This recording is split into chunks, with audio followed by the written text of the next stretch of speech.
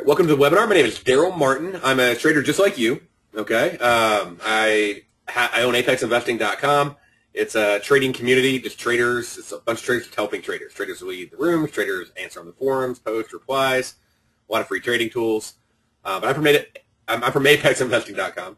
Um, I love trading Nadex. I trade it pretty much every day. Um, and this is a Nadex application and strategy webinar series for you. So uh, first thing, we always got to throw up those fun little uh, risk disclosures. And, um, you know, obviously trading involves risk. Make sure you know what you're doing before you do it. Uh, this is unique information provided by Apex Investing. And uh, then the uh, full risk disclosure, futures, options, swaps, etc. involve risk. They may not be suitable for every investor. They, you know, may result in a financial loss. A decision you make is, again, on you because it's your decision that you're making. Um, past performance not indicative of future performance. And the one thing I always point out is you don't see any clause on here regarding Nadex uh, where you can lose more than what's in your account because every trade you do on Nadex is capped risk. So you can't get margin call saying you need to deposit more money into your account because you're negative, which can happen on leveraged uh, margin futures, Forex, even stock, um, and a variety of option strategies but uh, not on Nadex. Every trade is fully collateralized on both sides. Uh, before you hop over to our website, I want you to real quick to hop on to nadex.com, especially anybody who answered they don't have a demo account. Okay?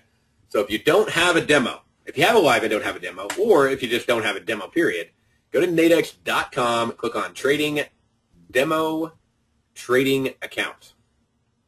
And fill in that form literally right now. Okay? Uh, takes 10 seconds. You know, first name, last name, whatever username you want to use, make it short. So that way you can use it like uh, if you have a, an Android phone or whatever, there's a limit in so make it as short as you can. But uh, username, first name, last name, phone number, email address, click apply for demo, check your email right away, and you'll be able to log directly in up here into the Nadex platform, and you'll have a demo account with like $25,000 of funny money in there. You can go, you know, go have fun. But um, that's really not the point of the demo. It's not just to throw random things on and see what happens. Um, it's to get a feel for, you know, obviously what the market is and actually see as you're learning. It makes a lot more sense if you can see it. But more than anything, it's so you can refine your skills. It's practice. It's not practice that doesn't matter. Just like I talk about in any kind of professional sport, you know, you practice before the game so that when it counts with the game, it's muscle memory. You know where you want to get in, where you want to get out, how you want to trail your stops, what contract you want to choose, you know, why this and why that happens, how everything happens from beginning to end. You don't want to be asking questions in the middle of live trades. You should know the answers before you hit the entry button. You should know all the other decisions after that that you're going to make based on what you see on the chart. Um, you should not be trading just on Nadex in, in the sense of just based on what you see on, better way to put it, on what you see on the Nadex platform. Okay, you should not be going, well, I, you know, I like this watch list. I like these expiring soons, or you know, I like this U.S. Tech uh, daily, and I'm just going to find out the price I want, and you know, or you know, I'm going to look at a general chart, maybe pull up an indicative, and uh, you know, look at forex, and you know, let's pull up U.S. yen, and okay, I'm going to click on that. I'm going to open up one of their charts over here, and uh, if I if I see it sort of going up or going down, I'm just going to buy or sell. Yeah. Um, what do you expect to happen? If you don't know what you expect to happen, you're just sort of trading it. You're just sort of filling it. You're sort of playing with your gut. Trading demo. um, it's a very uh, nice teacher. Um, it's not an expensive teacher. Live is an expensive teacher. Um, don't let the need for income make you lose what capital you have to trade with by hopping in and not knowing what you're doing. Um, don't make greed of just wanting to make it now make you jump ahead. There is definitely a live component when it comes to risk management, when it comes to emotion. Most emotion can be controlled by proper risk management. Um, if you don't have enough money, you know, save the money up, all right? Um, and practice in demos. So when you do have it, you don't give it all away by just doing silly mistakes that you had no idea were there. Um, ask a lot of questions. Now, you want to get that demo extended, so what could you do? How can you get extended so it doesn't expire in two weeks? Hop on over to open up an account for free. And open up a trading account. It takes about five, maybe 10 minutes, depending on how fast you type, um, to open this up and fund it. You can fund it with ten thousand dollars. Well, I guess online you can fund it with like what five hundred the first time, then a thousand after that, and you wire money in. Um, but I mean, you can fund it with just a hundred bucks. You put a hundred dollars in there, you put five hundred dollars in there, whatever, thousand dollars in there, five thousand. I don't care what you want to do, but if you put it with a minimum of a hundred dollars, and you place a trade, okay, then you should be able to contact them to get it extended if you placed a live trade. Uh, now, their policies, you know, that's not my policy, so they could be updating. They could update their policy at any given time. Um, but uh, I know that before, at least, I don't know what it is today. I, obviously, I've had mine for a while. But with a funded account and a live trade, is how they have done it in the past. Uh, so, you know, again, you can check with them on their current policy, but um, let's see here. And I always have somebody who says um, it's not working. Audio is working. Um, but anyway, so you know, check on that, and uh, you can see what they do, and you know what the rep says and everything else. But just get a demo, and um, really highly recommend that you get that going. And uh, you know, find out anything different, let me know. If it's impacting you in a way, let me know. I love to give uh, feedback to Nadex. I want you to give feedback to Nadex. Everybody should give feedback because they are committed to making an exchange that is beneficial to everybody. Um, but go ahead and you know get that demo open. You know, get that live going. Um, so that way you can do that. Let's see. Um, and then I got one other person asking a quick question so we can move forward. Um, okay, so to get on topic, now that we got that knocked out, also hop on over to apexinvesting.com. Um, right here. And what you're going to see is on the right side, there's a sign up for free button. That's where this recorded webinar is going to be. It's where our live uh, free binary scanner and spread scanner is located. We're going to be talking about that a little bit tonight. It's um, where we have daily deviation levels, like basically support resistance levels. Um, it also is where we're going to post um, like the forum, so you have an area to ask a lot of questions. So there's tools. Um, you know, obviously there's other services, but there's tools that are free on the website. There's a ton, hundreds of hours of education for free on the website, and um, even basics. So those of you who are brand new and are looking um, you know, to basically find a place to get the basics down and to take it a step further. We have all that for you. So just click on Get Free Access, sign up, takes a minute, and then log on in to the website. And once you log in, let me uh, just give you a quick review of where you're going to want to go to find some stuff. Under Education, we're going to have Education. Okay, I have a live radio show every day, the live show, the archives are there. Um, what a helpful links. We got an intro to various markets. So what is a future? What is Forex? Maybe you're new to Nadex, but you're also new to futures and Forex. You don't even know what that means. So you can go there and learn about that. Uh, webinar recordings. This is where we're going to post today's webinars. Right under here under webinar bonus webinars three. So three is the newest ones. So when we add four, four will be the newest ones. Okay. And Thursdays we do webinars every Thursday, uh, just about every Thursday. You can click on weekly webinars over here on the right side if you'd like to attend one of those. They're free to attend. And then Nadex tutorial videos, getting started with Nadex, how to use the platform to correctly enter an order in a take profit order, enter a limit order, edit an order, cancel an order, find a contract, all the basics on the platform right there. Uh, we got spreads, and we have, um, you know, and these are like 50, a lot of these are 15 minute videos, like real short videos. Some of them are longer ones where I've went into more detail on spreads and binaries, but you can get all your basics down really solid right here. Okay. Uh, we also have the scanner, which has several things on it for you. Um, but one of those is going to be the binary scanner. We're going to talk about that today. So right here in the binary scanner, um, you'll it'll prompt you if you want to install the plugin, so that way you can actually place trades directly from it. So if I go down here and make sure I'm on demo for the second, and I you know click an order, then it'll actually pop up the demo ticket for me. Okay, so we'll talk a little bit more about this. Uh, the deviation levels are here.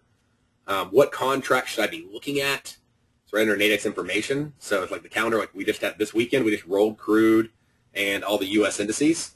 Um, so you should have, you should be on the new contracts. You should be on August 14 for crude oil. You should be on September for S and like ES and NQ and TF and YM. All that's right here. Um, we just now rolled uh, corn and soybeans and all that. So they're actually going to be now on the what is it? Uh, December, yeah, for corn and soybeans, uh, and that happened like at six o'clock. So, uh, so when they open up a little bit later, then we'll see that. And then we'll also see the rolls for you know, DAX and FTSE when they open up. But um, anyway, so check those out, and then we'll have uh, current underlyings, and uh, it shows you basically what every contract is on at this moment. Of course, it'll update like DAX will update right now to 0914 when it opens at 3 a.m. But uh, so just make sure you uh, look at that, and that's it. Here's the ninja symbols. Here's like the Thinkorswim symbols. On Thinkorswim, you put a forward slash in front of any symbol. Um, if you're using currency futures at all um, for maybe like volume, like how we use it, then you know there's the roll date for currency futures uh, tutorials. How do I use this thing? So we just made a brand new one on the spread scanner. We're going to make another brand new course on the binary scanner. But if you go over here to how to use the spread scanner, I made a whole course from beginning to end on exactly how to do it, step by step. Okay, so step one, step two, step three, just follow them in that order. When you go there, you're going to see that there's a video right inside that section. It's like 14 minutes. So, um, and it'll uh, it'll make it a lot easier for you. So we're going we're cleaning that up. We actually just uploaded that. We haven't made it to an official course yet. So we're cleaning it up. There may be a couple things we got to fix up in there, but we just made that Thursday. We'll have that cleaned up here in the next couple days, and then we're going to upload another one on um, this coming Thursday on the binary one. We already we already have tutorials, but we wanted to do a sort of a breakdown, so it wasn't like a two-hour webinar. It was a you know series of 15-minute videos on each section. So if you want to go back and find one thing, you can. Um, okay, so got that out of the way. Now let's talk about what we're going to talk about. Um, tonight we're going to focus on, and I'll, I'll, do some various questions for you as well. Um, if they're off topic, it'll be at the end. Okay, I want to try to keep it on topic, otherwise the webinar takes you know hours. And um, I don't mind, but I know some of y'all don't want to miss anything, and I want to be respectful of your time there. Uh, we're talking about in the money and out of the money binary strategies. We're talking about what is in the money and at the money and out of the money. It's pretty simple, but just to make sure everybody's on the same page. Um, how are binary options priced? You know, what affects that price? Um, how to quickly find the best opportunity in seconds. Uh, like what binary do you want to, like, you got a signal now, what do you do? Um, what is time decay? Uh, what is premium? You know, how does it, you know, help you or, you know, work against you? Um, and then, you know, we're talk, we'll talk about a couple strategies as well. Maybe pull it up, see if we have a trade, um, do the limited scope and nature of the webinar. I don't know how many trades we'll be able to do, but I can at least show you how I pick some trades. Okay, like I'll bring up some of my charts and show you exactly what I do and how I do it. For choosing on the exact same strategy, do I choose an at the money? Do I choose an in the money? Do I choose an out of the money? And I'll show you uh, some ways that I do that. All right, so that sound good? If so, we'll go ahead and uh, get it going. Um, all right, so we got the survey knocked out. Everybody knows where to find the new information if you're brand new. Okay, I'm not going to be going over just all the basics you're brand new, you know where to go to get that information. Um, most brokers only offer sort of what basically what you could call an at-the-money binary. Nadex is not a broker. So don't confuse them with an international binary broker. They're not trading against you, um, and they're an actual exchange with a actual contract versus a where's the price at right now? Let's make a deal for five minutes from now. Okay, it's these are the binaries. This is how wide they are. This is the width in between them. This is the actual defined contract every single time. And Nadex offers out of the money, in the money, and at the money binaries. They allow you to close your trade before expiration so you don't have to hold it. And that is probably one of the biggest steps. I've proven time and time again that that is a requirement, okay, for a successful system. But once you understand the probabilities and how they work, we'll talk about that some you have to close before expiration. It like otherwise the best thing is break even, less a little bit. Okay. Um, and every binary is both out of the money and in the money at the exact same time. And what do I mean by that? Well, you know, the long may be in the money. If the long's in the money, if you, the buy side's in the money, then the sell side is the out of the money. If the sell's in the money, then the buy side's in the money. There's no tie. Okay, it's either in the money or out of the money. So what is at the money then? At the money really is just saying that the strike and the price of the underlying are like right at the same price. Um, and so if you held a binary to expiration, you must be in the money. So let's go ahead and bring up some binaries and let's talk about what that means. What is all this in the money, at the money, out of the money stuff? Let's knock that out. Okay, so right over here, we uh, load up the binary scanner. And again, this is free for you to access over at Apex Investing. Cost nothing, okay? Uh, and if we pull up, uh, know, say US yen. And don't let all the stuff intimidate you. You know, just go through the videos. You'll be amazed how easy this is to use once you go through them. But first thing, just have no filters on. Just choose your market. And what this will do is it'll show you every binary contract that currently is trading on the US yen. Now I could also choose Aussie dollar, and I could see both of them. I have to scroll a lot. You know, this without doing any filters, but I can look at as many contracts as I want at the exact same time. Okay? So now if we go on down, we look at US yen. Let's talk about this whole in the money, at the money, out of the money thing. The technical definition for at the money is when the underlying market is at the exact same price as the strike. Okay? So if the market is at 101.84, then it'd be an at the money binary. To generalize that up a little bit more, what I've done is I basically said usually, you know, uh, actually always, the price is going to be at 50 bucks on the mid price if the market's right at that. I mean, you could give or take a tick, but be right at $50 on the mid price. What's the mid price? It's the middle between the bid and the ask. So if I go over here and I open up US yen,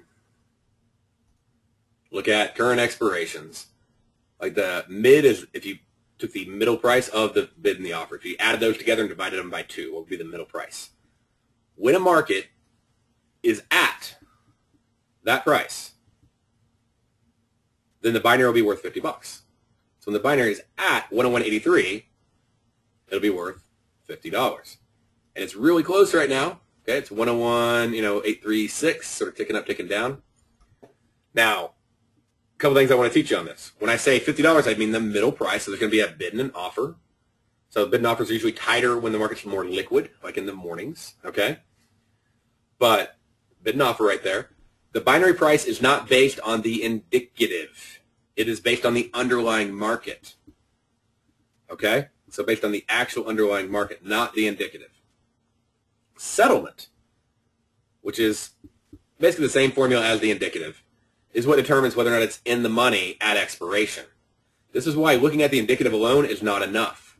Because if the underlying market moves a few ticks, but the indicative hasn't moved because of how it's calculated, then you'll be a little confused about why it's not at 50 when the market's at that price. Okay? So you want to see the actual underlying market. Now, some people go, well, I don't have access to charts, or hey, I'm using these charts. I got these web-based charts off this website or that website or whatever. No, you need real charts. Okay, actual platform with futures and with Forex and with live data. Even if you just trade Forex, you need futures. Why? Because a lot of people love MetaTrader 4. All right? There is an issue with MetaTrader 4 that's not talked about much in the MetaTrader 4 community, and that's the inaccuracy and the lacking of volume. They don't have any volume. People go, well, you can't have volume for Forex because it's over the counter and all that. You can't have volume for Forex. You need volume when you trade. Volume tells you, like, there's three things that matter. How far is something going to move? What is the price action? What is the volume? You can't have, you don't want to have two of the three legs of a stool which going to fall over. Okay, your trading plan is going to fall over. You want to have that volume. You can use the euro dollar futures volume on, like 6E, on the euro dollar. Um, we have one, one of our indicators actually does all that for you. But I mean, you can just open up two charts, you can put them side by side. There's a lot of ways you can do it, but you need futures forex volume to get real volume. The volume you may see on, like, say, an MT4 platform is going to show you tick volume. That's how many times the market has changed price during that bar. That's not actually how many contracts have traded, and you need an exchange to pull that data from, not just a specific broker. So you really need a real platform with futures and forex volume. That doesn't have to cost you a penny. Okay? Um, under our first um, course right here, we have Getting Started and Set Up with NinjaTrader. We show you how to set up Ninja, how to get free futures data, how to get free forex data, live data, historical data, volume, all that stuff that you need. We show you how to go get it for free right there. So you have no excuse It takes you about 30 minutes. Okay? And that's if you watch every video and follow the steps while you're going along. It takes about 30 minutes. And you're set up and you're ready and you're starting to actually progress towards being a real trader. Okay? Setting yourself up for success. All right. So that's just an important note on indicative. Um, and then, uh, let's see, let's look at this right here. So that, we got the at the money down. At the money is when the market is at the price. Then there'll be a little bit of bidder ask. And we talked about how the price will always be at 50 plus bidder ask, maybe 53, 47, maybe 55, 45, maybe tighter, maybe wider, depending upon the market. This is important due to the first question that popped up in the uh, webinar. Richard uh, posted, how do I know when to get out of a call option when it is close to the strike price? A uh, couple things for you. One, I want to help you out on this because I know the term call and put option comes from over-the-counter binaries, so you probably have some experience trading those. They're not call or put options. It's an inaccurate statement made for marketing. Um, a call option is an option where the buyer has the right but not the obligation to call something away from somebody at a certain price by a certain date. A put option is you have the right to put like stock or gold or whatever to somebody. They have to buy it from you at a certain price by a certain date. Call does not necessarily just mean up because you can do a bull call spread, right? You can do a bear call spread. So call and put doesn't necessarily define up or down, and it's not a call or put because there's no calling or putting. It's just cash settlement, no exercise, open or close. So it'll just it'll settle. There's not an exercise built in. Um, and it's not a big deal. It's you know you call it you know technically whatever you know. Um, but just so you know, like it's not actually a call or put. So if I'm long a binary or if I'm short a binary or a spread, a binary will always be at that price. So let's say you bought a contract, Richard, at 20 bucks, and let's say you, know, you went over here. Let's go ahead and uh, widen this back out. And uh, this applies to really the at the money to get everything down.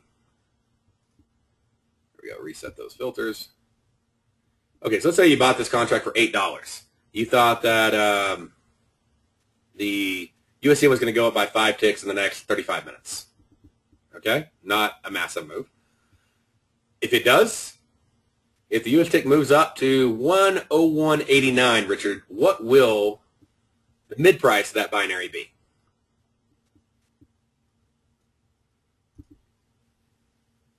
So if you tell me exactly what price, you know, anybody, what would the price of that be? What would the what would this binary be worth if the market moved up to 101.89? There we go. Yep, right about 50 bucks. Okay, so not 100. Lorenzo, we're not talking about actually that actually lose.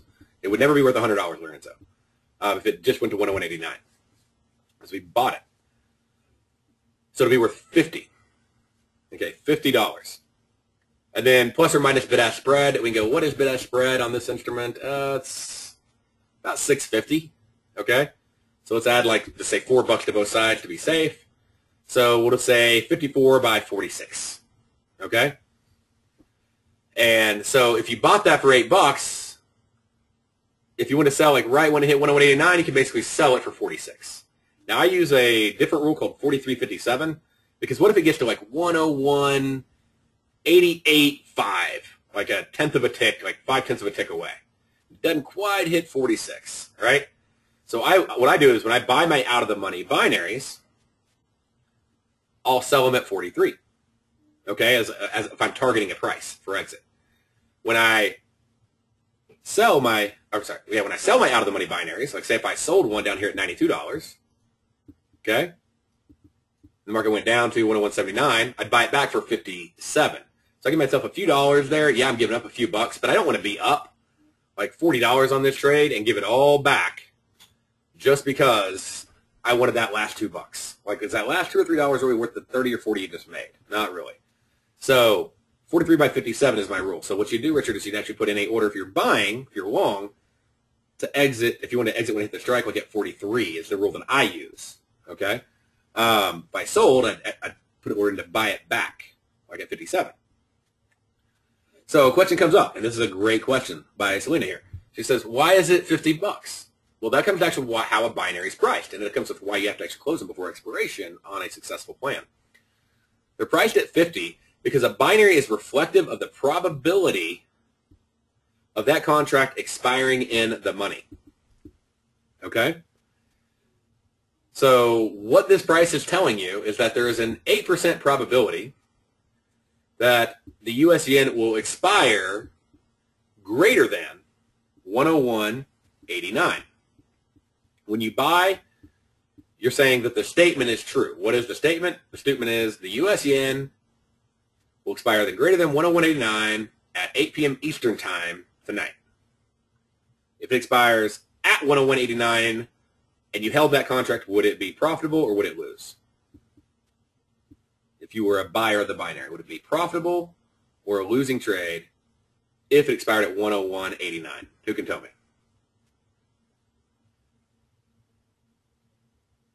It'd be a losing trade.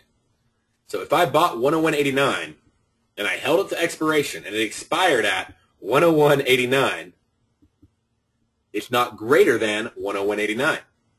Okay, it has to be greater than 101.89. If I sold it and I held it to expiration, it has to be less than or equal to the strike. So if I sold this one for $92, it'd have to be less than or equal to 101.79. Remember I said there's no ties, right? It's either greater than or it's less than or equal to. So buy side, greater than. Sell side, less than or equal to. So it's telling me probability. So what is the probability if the market is at, let's just, let's see if we can find maybe a better $50 example. The market's opened up, they're starting to move around a little bit. Um, yeah, we can't, we'll just focus on this one for the moment. Right now, the contract is at, okay, it's showing 101.84, so that means I actually need to open up a US yen chart. Let's grab it. These will be some good lessons right here. Notice our contract is 101.84, but our indicative is 101.8395 or 101.84, sort of going back and forth. And then let me go over here, and let me make this larger so you can actually see it.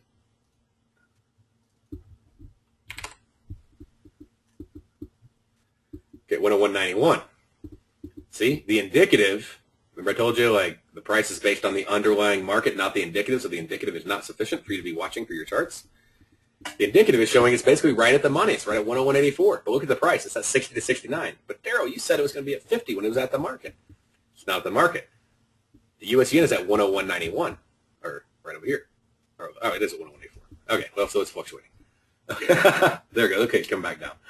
Um, but it'll it'll fluctuate. If I go down to tenths of ticks, which is if I want to get really detailed, because that's actually what they're measuring. And notice how they have the expansion out there.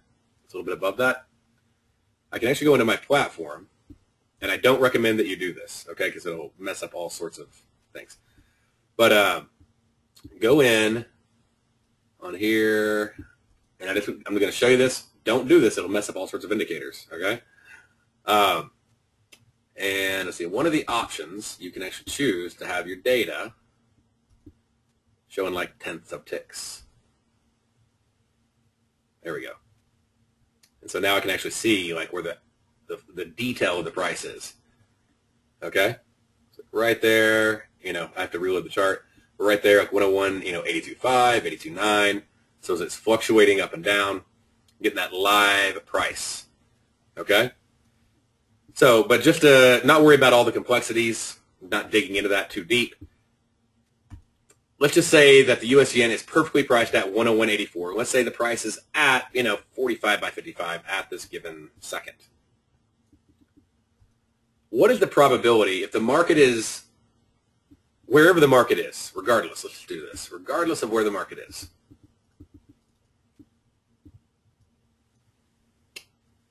The market's at 101, say 84, okay? What is the probability that it's still going to be at 101.84 in five minutes or five hours or five days. If it's at that price right now, this will help you a lot if you'll grasp this. What is the probability it'll still be there?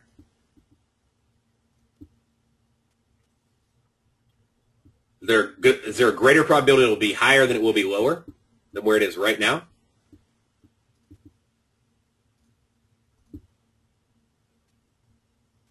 And I'm not saying like based on your system. I'm just saying the market itself. This probability is going to move, but is the prob- what's the probability that it'll move higher versus lower? Is there like a 70% probability it'll be higher than it is lower? Because if there's 70% probability it'll be higher, then 30% probability it'll be lower. So what is the probability it'll either be higher or the probability it'll be lower? Not either one.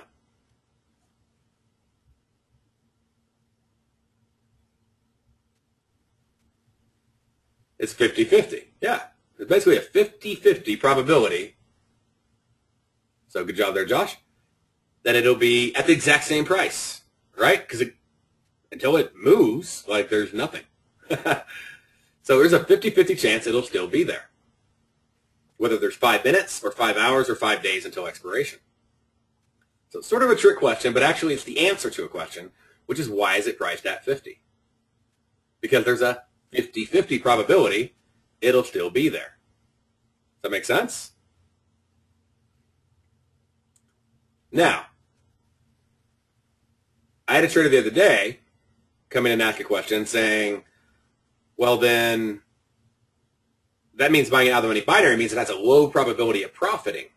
Right? If I buy a $20 binary or an $8 binary, it has a low probability of making a profit because it only has a 20% chance or only an 8% chance of being profitable. Okay? So, my question for you is that is the probability of it expiring in the money. Right? That's not a probability of it going up or down in between this. It's a probability of it still being at the same price. So you could buy a 20 and maybe there is only a 20% probability it'll expire in the money, but it may go up to it and come back down. It may go up from 8 and become worth 24, never even get to 50, never even get to the strike, and then come back down. Was the trade still profitable if you would have bought at 8 and sold at 24 and it never reached the price? Is that still a profitable trade? If you buy at 8 and sell at $24, did you make money? Okay, so it's not a probability of profiting which is important for you to understand. Otherwise, you're like, well, I'll just buy the 95s all the time because, you know, or whatever. I mean, it's not a probability of profit. It's probably a pro- of it being profiting if you held it to expiration and being in the money. Okay? So let me show you. This is really essential. Um, I had a great forum post uh, this weekend where trade had some misconceptions, common misconceptions, not unique at all. When we, when we talked about back and forth on some of this stuff. And uh, real long reply over in the forum. But um, let's check this out. If I have 100 trades, so trades, you know, total, I got 100 of them. All right?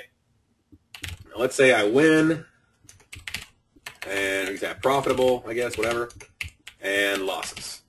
Okay? Profitable trades, losing trades. And let's say I buy $70 ones. What is their probability of expiring in the money? If I buy a $70 binary, what's its probability of being in the money? 70%. What's its probability of not being in the money? 30%. Okay, cool. So it's on the buy side. All right. So that means 70% of these trades should be profitable, 30% should lose, right? Now, if 70 of them are profitable, and I bought it at 70, so this is sort of a rolling back a little bit for you. When you buy a binary, the price you buy it for is your risk. When you buy, it's the buy rule. That's how it works. When you buy a binary, the price you buy it for is your risk. So if I bought it for $70, my risk is how much? 70 bucks the most a single binary is worth. Now you can do 1, 10, 50, 100, whatever. But the most a single binary is worth is how much? All binaries, exact same value on Nadex. $100. So if I'm risking 70, what is the most I can make on the trade if I held the trade till expiration? 30 bucks, exactly. Okay, so I get to say, let's do $100 minus what I'm risking, okay, because that's what I'd make on the trade. And then we go over here and it's like, okay, what if I lose? Well, let's do probably what I paid, okay, times the amount of trades. Uh, and then let's, uh, we got to add that in, don't we? Let's multiply it times how often we won. And then we'll uh, do negative 1 for losses. How much did we make on your trade? What's your net profit? If we bought 70, if we bought $170 binaries and 71 and 30 lost, money with probabilities, how much do I end up making? I break even less whatever my cost is, right? Because if I did 100 trades and I got, you know, add in fees. So I broke even on my trades, but I had a little cost on my, you know, I don't have bid-ask spread because you don't exit the trade, you don't pay the bid-ask spread, right? Because you buy at 70. If you, I mean, if you try to close before, there's a $5 bid-ask spread, you can only make 25, right? To get out at 95. But if you hold it, you can make 30. So you don't have bid-ask spread on the exit, but you do have it, you do have the fees, no matter what. Um, you only have half the fees on the losing side, you have more fees on the winning side. But hopefully, if your trading system is coming down to fees, you have a problem with your trading system.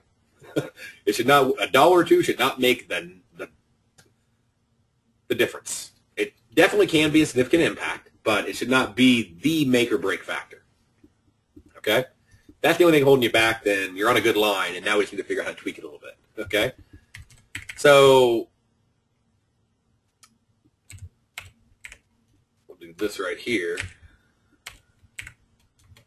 Then let me drop the dollar signs because this is our percent.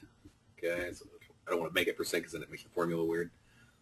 But if I go in here, just make this the number. And we'll get rid of some decimals. The reason I'm going to change this up for you a little bit.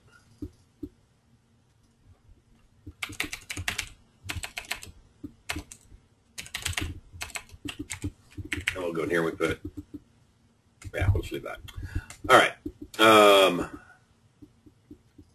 so percent, yeah, profitable, losing, we'll say, you know, cost, whatever. Um, now, if I go in here and I do a $80 binary with $20 profit potential, same thing. If I do a $50 binary with $50 profit potential, same thing. If I do a $30 binary with $70 profit potential, same thing. It doesn't matter if I'm in the money or if I'm out of the money. It's fairly priced. Now, people go, wait a minute, well, that feels like it's rigged or whatever. I, I hear that. No, no, no. That's fair. Okay. If I'm risking 30 bucks and the market has to move to get greater than my strike because it's already lower than it, so I have to wait on it to get up there, I have a lower probability of it expiring in the money. So I pay less and I have a chance to make more. On the other hand, if you buy that, you know, if you're on the other side of that trade, you got a 70% probability of being profitable. It's already, the market's already above my strike. It doesn't have to, at expiration, profitable at expiration because the market doesn't have to move. It can stay flat. It can move up. Okay, it can move down a little bit. You can still make money. So you have a higher probability of being profitable at expiration. Therefore, you have a higher risk and a lower profit.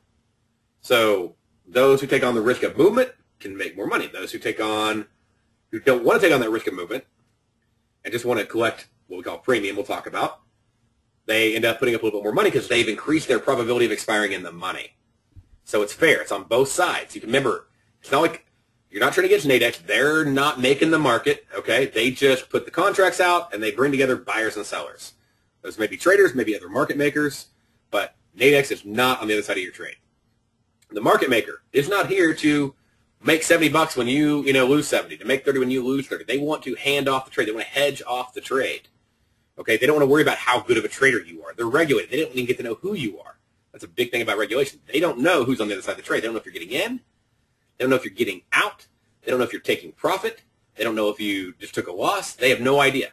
They just see a trade. They want to make the bid offer spread. So they want to buy the people who are selling and they want to sell the people who are buying.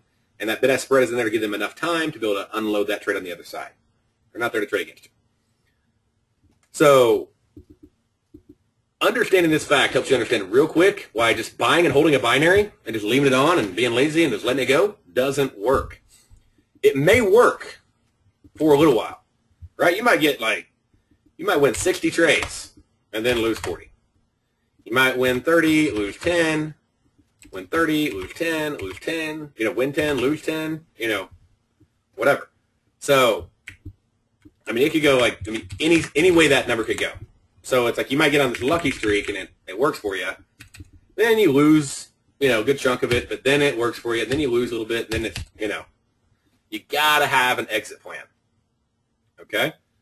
I don't care if you're in the money or you're out of the money, you got to have an exit plan. Even on my at the monies, I take profit and get out. Okay?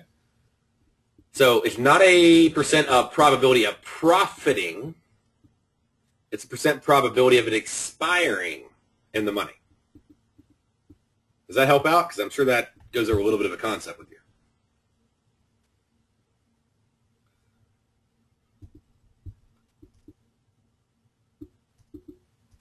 Okay. Um, now, I don't know why you say such little profit with 50%. So you have to re, you have to give me a little more details, Brian, on what you're talking about. So $30, I mean, it not to be $30, right? I mean, I could buy at 70, I could sell at 95. If the probability is 70% that the thing is going to expire in the money, okay? So let's look at this. If there, if it's $70 and there's a 70% probability it's going to expire in the money, does that mean that there, and this, that's, uh, this should make some sense, but that should actually mean that there is a really good probability that it's going, because it's an expire in the money one, there's even greater probability that it's going to get to my strike. So if my strike was, you know, one point, I don't know, 84, whatever, okay, and it cost, you know, 70 bucks, and there's 70% chance it'll expire greater than that, then there's obviously a greater probability that it's going to get to 1.84. You know, or vice versa. So if it's $30, you know, on down the list. So, anyways, there's a probability it'll stay above it. So, let's look at it. So let's say you get out at $95. Let's just get rid of all this. Let's just say you make uh, 25 bucks, okay, because you sold at 95. All right, so you profit $25 on the trade. So Okay, that's that's good. I see what you're saying. Yeah, twenty-five dollars, thirty bucks a day don't pay the bills. I agree. I understand that. That's one contract. Okay, that's also one trade. What's really cool about this is you can do as many or as little as you want to. If I do 100 contracts on a trade, on just one trade a day, let's just say I was profitable, then I would make 2,500 bucks. Would that pay the bills?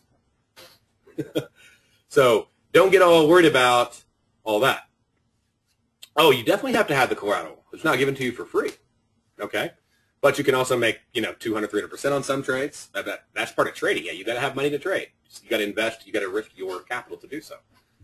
But let's go look at this. This is a, and this is not to imply what you're going to do. Okay? But it is to show you the power of an account growing. So let's say you start with $500. Okay? You're doing one trade a day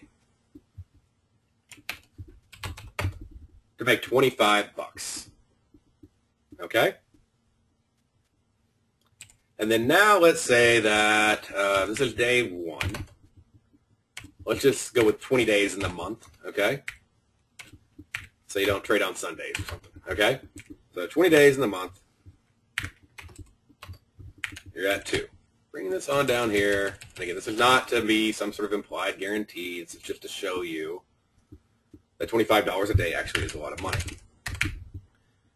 Now let's just say you make $25 a day. You don't pull any money out. You don't have losses. Obviously, you know, we can go and throw some losses in there and everything else. I just want to show you the power of how an account can grow. We're making $25 every day. We're going to do that. We're going to add 25 bucks. We're not going to compound at all. We're going to do one trade a day making $25 at the end of the month, we now have $500, or we made $500, right? We made a thousand bucks. Take that exact same formula, okay, and now we're doing 50. Now we've made 525. So we can go in and we do this month three, okay? So now what we're doing is we're doing 25 bucks for 500 every $500 we have. Just one $25 trade. Okay? And so, actually, I need to do this. Uh,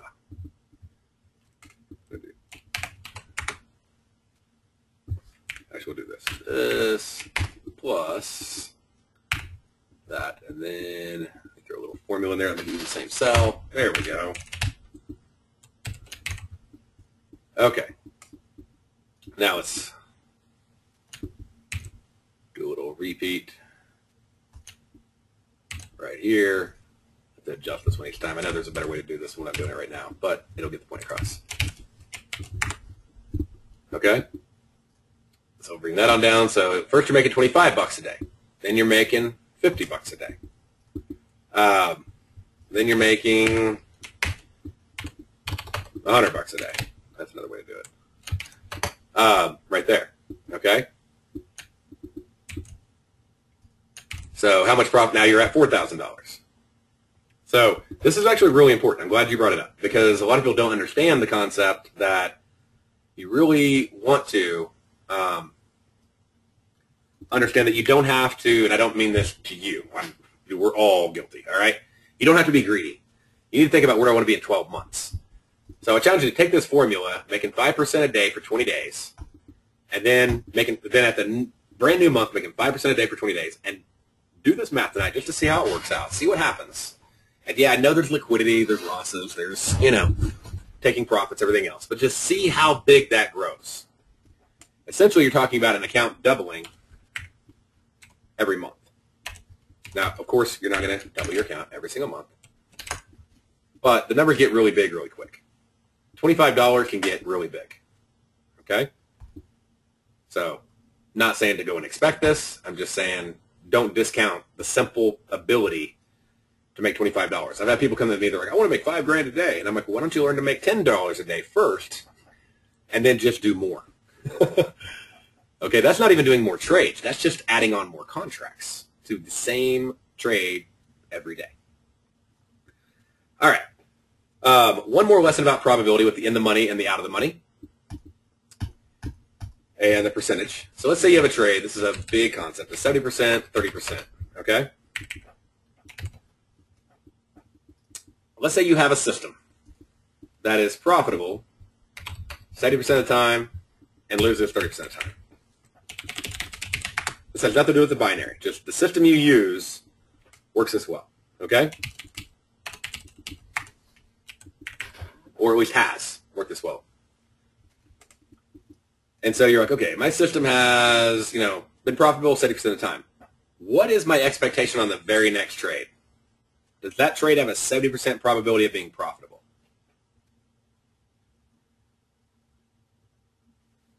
If I've done a system for the last three years, okay, and 70% of those trades have won, does the next trade have a 70% ability, 70% possibility of being profitable? So the answer again, is sort of a trick question, you know, and I don't want to like discourage y'all. I want y'all to actually think. The reason I want you to answer, I want you to think about it. Yes, I can see people who watch some of my my money management videos. It is a 50-50. And it sounds weird, okay? But it has a 50-50% probability of being in the, let's just say that over the next 100 trades, you, let's say on the next 100 trades, let's say that holds true. And out of the next 100 trades, 70% of them are profitable, okay? Let's just say that actually does happen on each individual trade, you have a 50-50 probability of it ending in the 70% probability bucket or the 30% loss bucket. Okay? Now, over the course of 100 trades, you know, maybe you did win 70% of them. This is so important because so many traders, they get this system that seems to win 70% or 80% of the time. And they think they have this great system and that that's a good, you know, it could be a good system. Depends on what the, your risk and reward and all that is.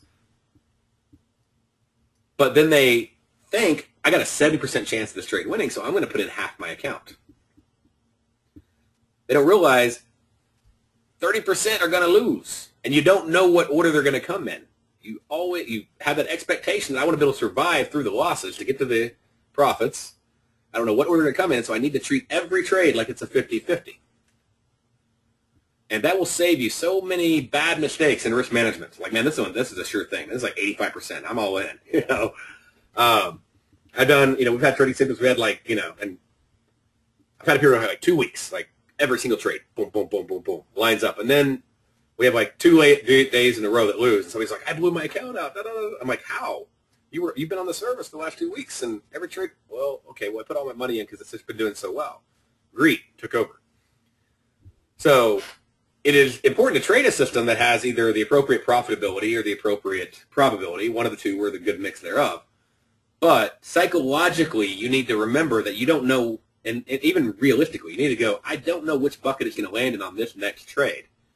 So therefore, I don't need to risk it like I have a 70% chance. Okay? I'm willing to risk it because I believe that out of the next 100 trades, 70% will be profitable, like the last, say, 100 were. Okay? 70 of those were. But I'm not going to go take that and apply it to this trade. I'm going to say over the next 100 trades, I'm willing to risk this money because I expect, say, 70% of those trades to be profitable. I don't know where they're coming. I want to survive to get there. I don't have infinite money. So therefore, I'm going to let it grow slowly because, again, $25, $50, whatever, can get big quick. Okay?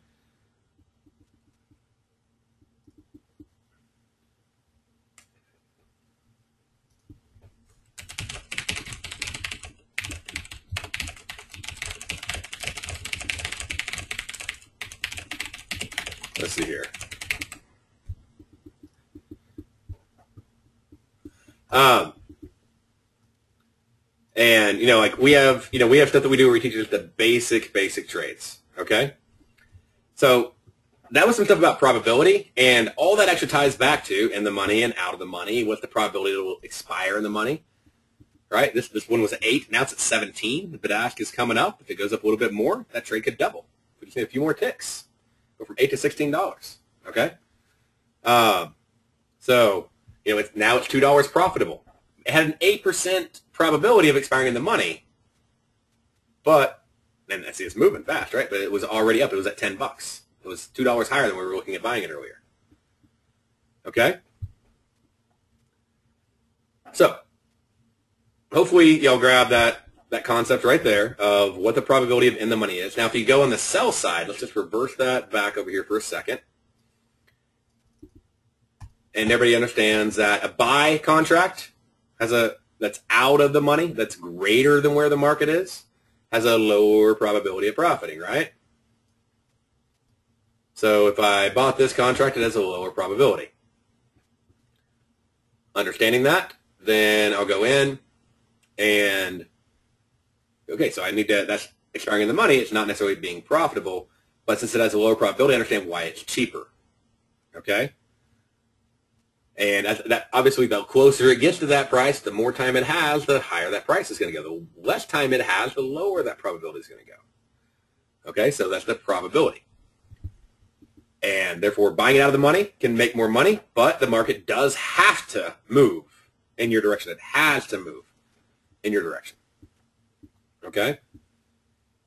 If the market were to move down and you know, then that trade would or stay flat and out of the money trade would lose because it has to expire above the strike.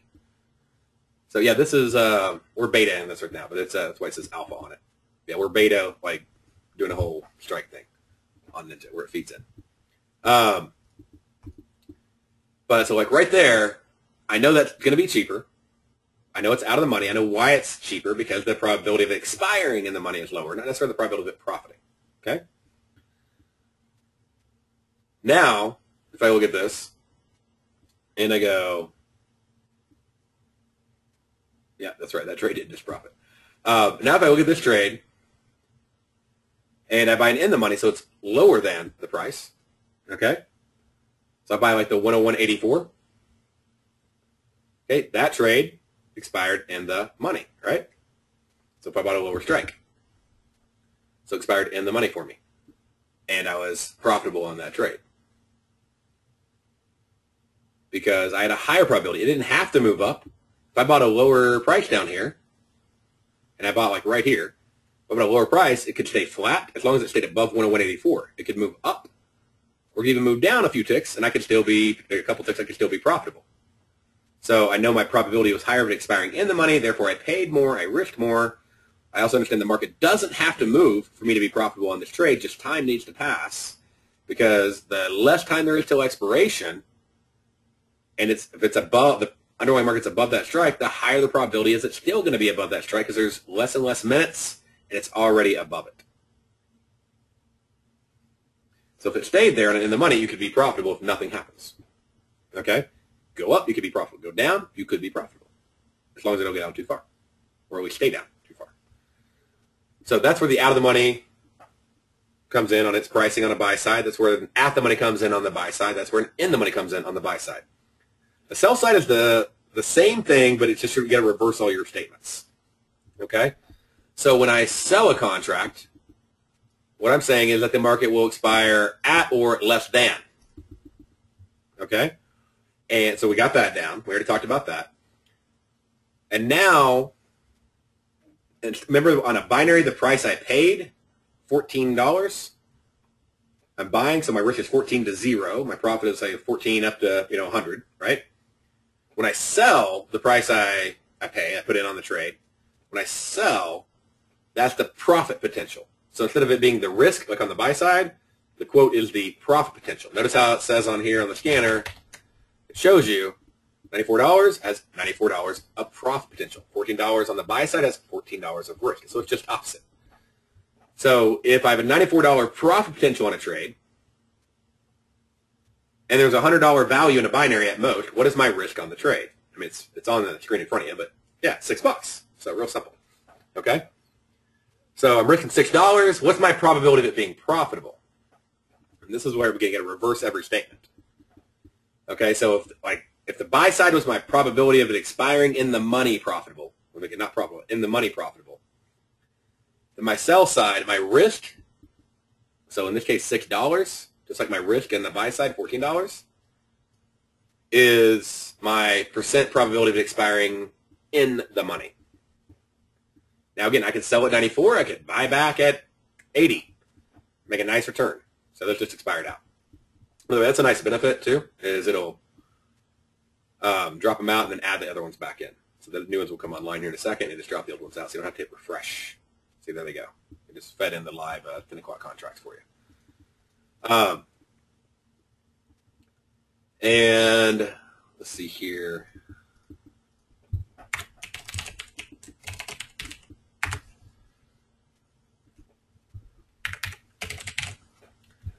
All right. Um, so that's your in the money. That's your out of the money. Now let's talk about, um, we talked about how to use that $50 price for take profit. You know, buy it 8, sell it 43, sell, you know, sell it 92, buy back at 57. You can do the same thing for an in the money. Maybe you buy a 17, or let's, let's say you buy a, find a little better priced one here. Let's say you buy a, just want to get down here and find one that's normal. All right, 73 bucks just for the, this example. So those are plenty that are tradable, but just for the example. If I buy, you know, 74, 75 bucks or whatever, I could make up to 26, you know, dollars on the trade. Do I have to hold the trade till expiration on the losing side?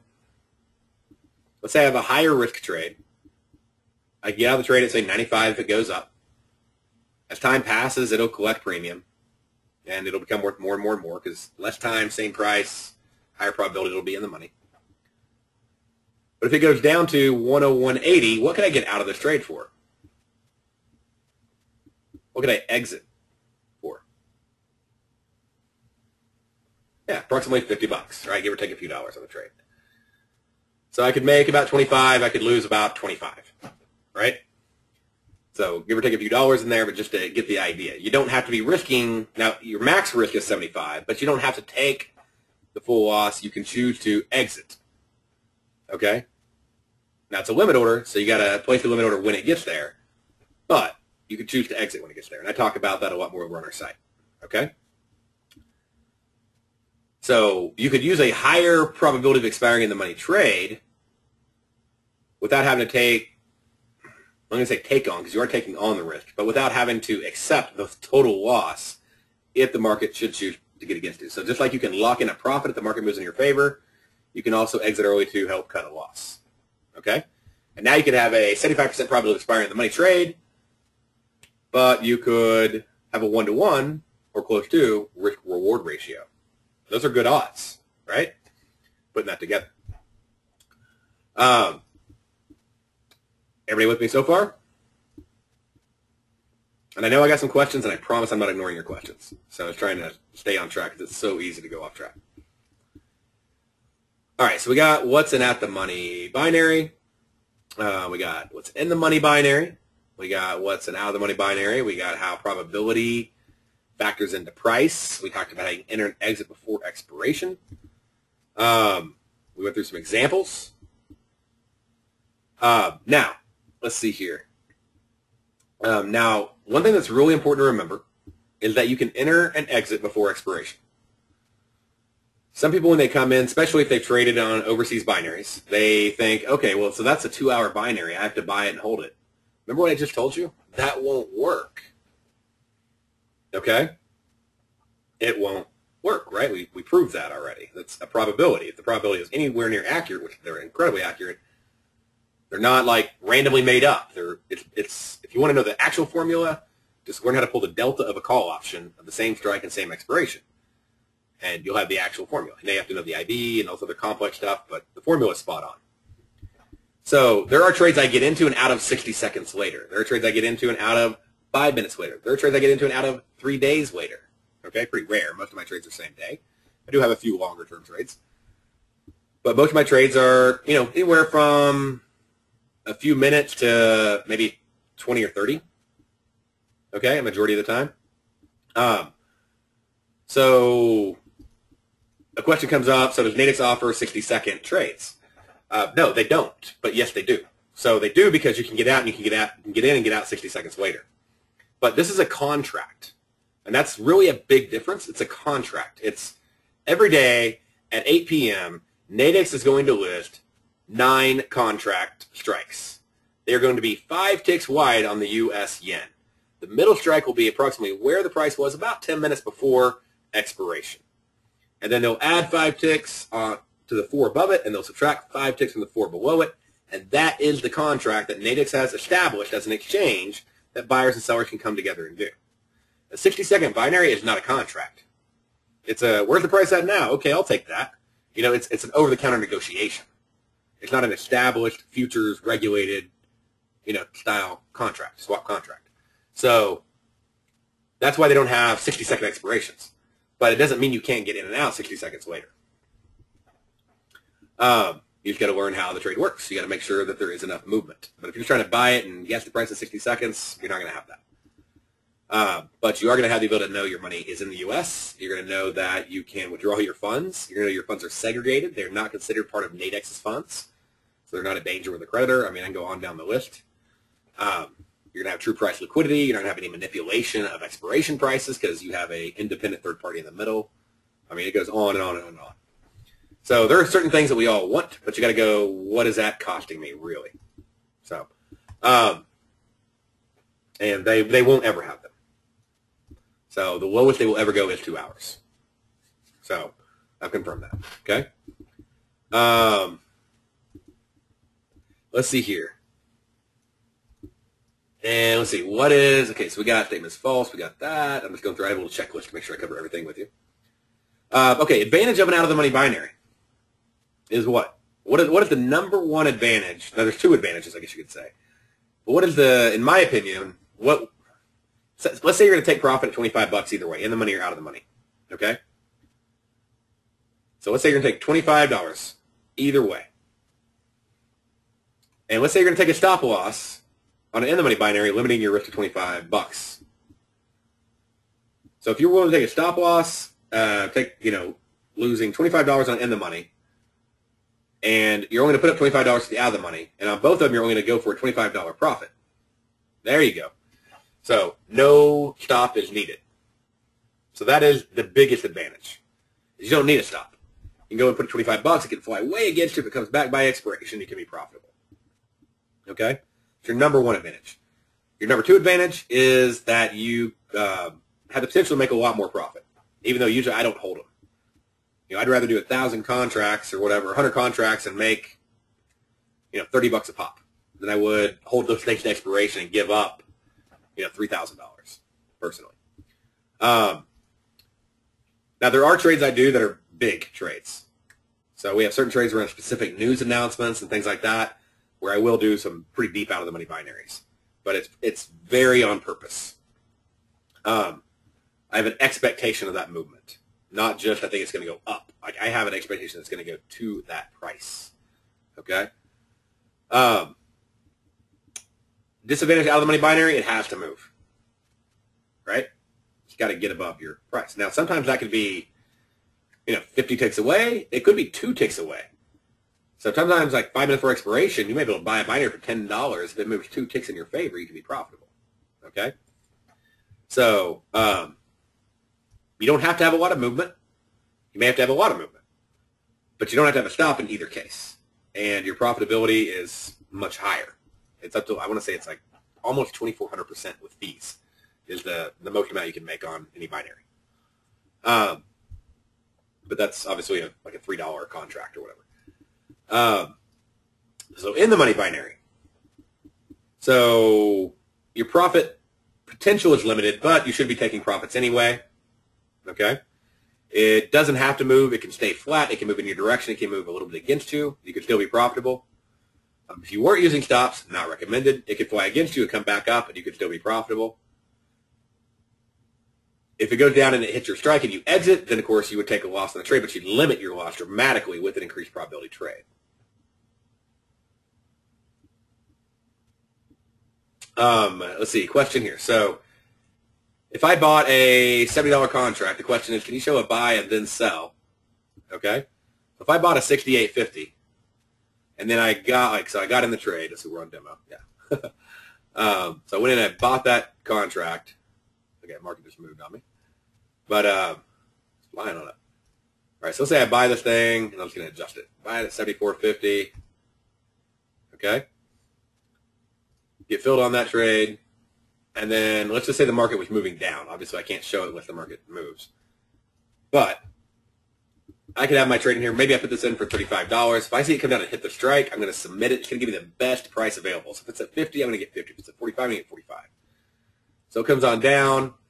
I hit the order and get out of the trade. It's just I exit. That's all it is.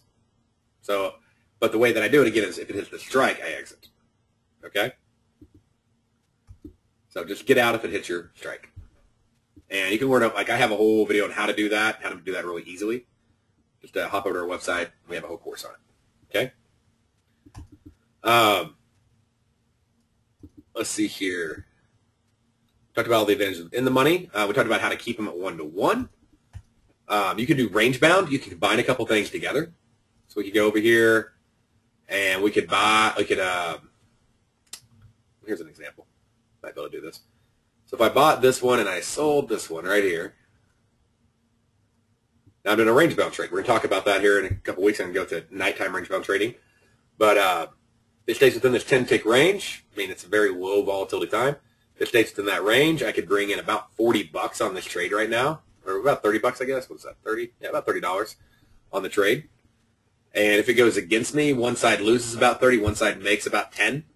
So I actually lose 20 and make 30. So now I have a greater than one-to-one risk-reward ratio by exiting the trade if my strikes hit. It's about money management.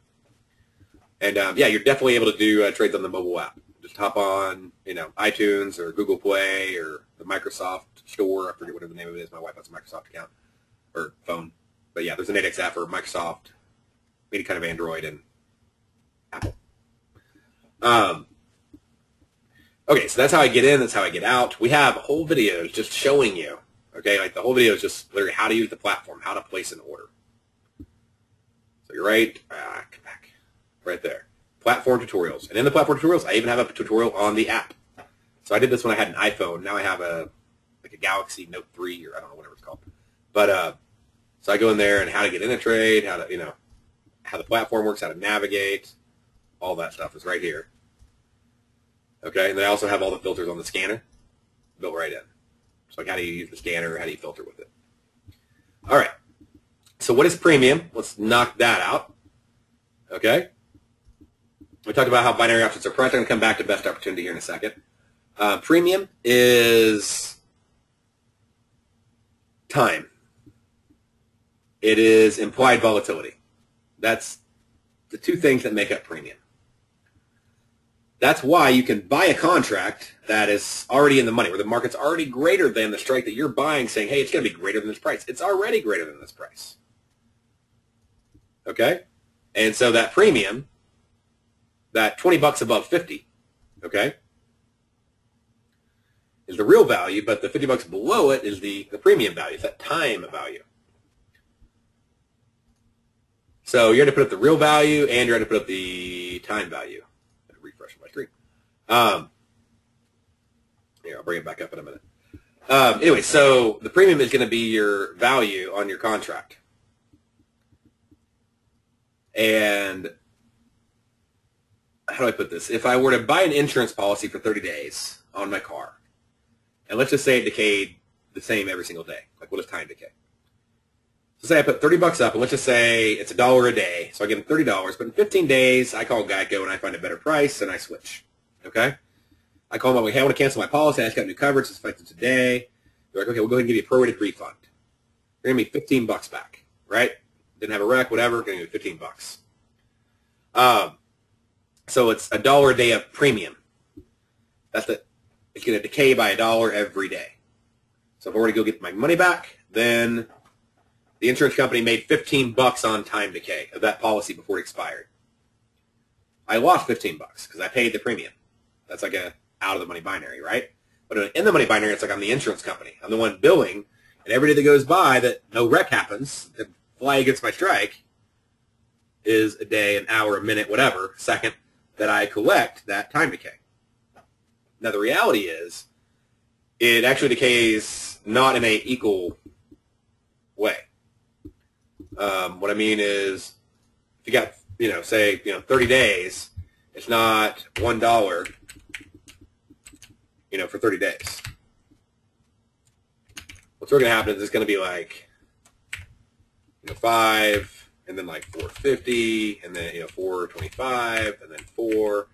Okay? It's going to get bigger and bigger. So that way, if you come back, you know, you only make maybe 50 cents right here, maybe make 25 cents right here after the first minute. and Then you make 50 cents. So, and then you make, say, 55 cents. Then you make 60 cents. And then you make 70 cents. You know, and it gets up higher and higher and higher. Until finally, it's like there's only five bucks left. There's like a minute left till expiration. It's only two ticks away. But there's $5 of premium in there still. Okay? So premium is going to decay faster and faster as it gets closer and closer, which means you're going to either collect it or pay it. And that that is what premium time decay is. It's just it's the time value of the contract. And are you the insurance company collecting it as it goes by, or are you the person buying the insurance paying it as it goes by to hedge yourself? Okay?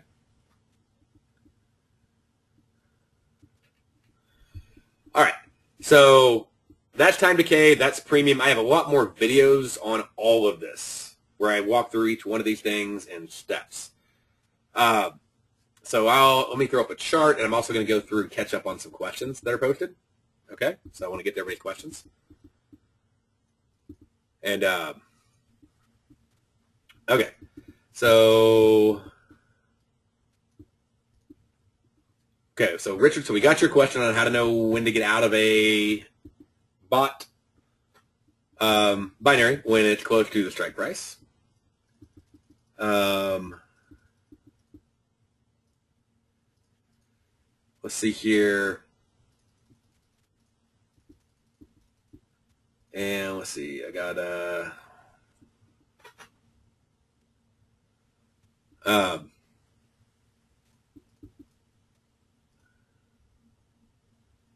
change this up. More thing over here. Sorry. I'm going to pull this over so I can get all the questions because it's easy to skip them just the way the thing works. I don't want to skip any of them.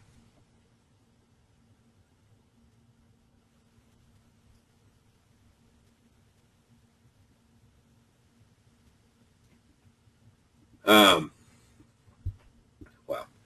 All right. Uh, let's see here. Yeah, you can always sign up for demo with, yeah, your other, yeah, you can do that too. Um, at some point, um, may we go from a point of finding a trade on Ninja to find the best spread binary scanners to execute that trade until it's stopped out. It's much easier to understand when it is in one. Yeah, this really isn't an Apex webinar, Aaron. It's more, it's actually a Nadex webinar. So anything that you want to cover on Thursdays, just got to let me know. But um, on the elite, I mean, you know where to buy, you know where to sell. So we teach you because we have obviously forex traders, futures traders, CFD traders, binary traders, spread traders. So we teach you exactly where to get in, where to set your take profits, where to set your stop loss, and but any questions you have, you need to like post them in the forum. Like show me your trade and go, I don't know what to do here, or this is what I think I should do. It makes it a lot easier. Also, watch the um, the training videos on. That will help a lot. So once you got first get the system down because you have to have your rules like on a chart. Where am I going to get in? Where am I going to get out? Okay. And for example, okay, this is a really really simple strategy. Okay. Um, there's a lot of ways to do it, but let me just zoom in on one. So this is what I call my MVP, my momentum volatility predictor. All right. And so I look at this trade, and if the market is, you know, up in the upper half there of the expected um, range, so the expected channel is how far we expect the market to go on this hour. Okay. And I get a long signal right here. Then if I'm at sort of the expected move, I don't expect a lot more movement. So if I don't expect a lot more movement, I think the market's going to sort of flatten out at this point, then I would buy a, would you buy an out of the money or would you buy an in the money contract at that point? If the market was going up, you got a buy signal. Would you want an in the money or an out of the money? In the money, that's right. Because you don't expect a whole lot more movement. So on this exact same signal, I could go, okay, buy signal, boom, buying in the money. There we go. Do it for current hour. And then I add in one simple rule, and I do it on 10-minute bars. Okay. If the market, if I have MVP, it's really simple. It's just 10 minute bars. The market has to close in the same direction as my signal. If I have plenty of room, I'll look at like a low risk out of the money. And I'll put a take profit for like, you know, 20, 25 bucks. If I want to go for more, then I may go in and do like, I may split my contract. So I'll do two or 10 or 100 or, you know, whatever.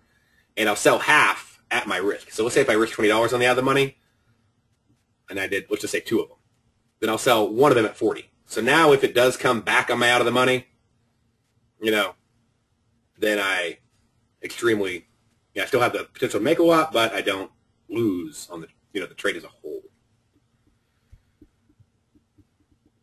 Okay, so that'd be like how I do like a in the money contract. Current hour, that would work great. All right, we go back, and I mean, you can you can look at this. It's all it is is 10 minute bars, does it close in the direction of the signal. So right here, I do an out of the money, right? So I can target that, go for 20 bucks. It moved about a strike. One strike will get you about 20 bucks. So right there, because we got just about to the strike. Remember I said 47.53 just in case it doesn't quite hit it. So it moves up and within like a tick, takes profit, falls back down. Good thing I had a set a take profit. Okay. Um, four to five. Okay, so this is uh, something to add in just to help you out. Between four and five o'clock p.m when all the indices are shut down, okay, Forex is rolling over. There's basically just about nothing open. You expect a lot of movement.